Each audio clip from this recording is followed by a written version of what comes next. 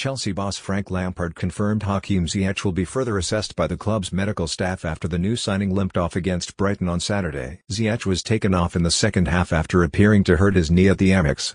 Ziyech made a good impression in his Chelsea debut on Saturday. The £37.5 million man was handed a start in his first game, playing on the right, hand, side of an attacking trio behind fellow new arrival Timo Werner. He made a quick start, curling in a delightful cross which Callum Hudson, Odoi nodded down for Werner to score his first goal after four minutes. The winger looked electric during his time on the pitch, but his debut was cut short after he appeared to take a knock on his knee. Speaking after the game, Lampard told the Chelsea website that Ziyech took a little twist to the knee that will be looked at.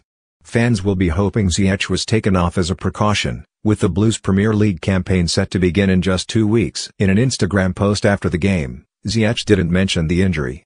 He wrote, it felt good to finally make my first minutes in blue. Can't wait for the league to start.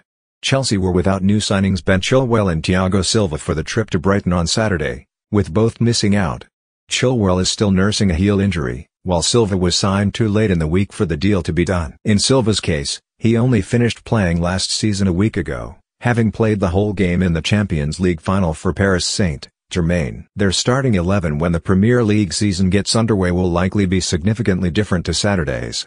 Both new signings are set to be involved from the get-go, while they are still in the market for two more signings. Blues Chiefs are desperate to secure a deal to sign Kai Havertz, and are believed to be closing in on an agreement.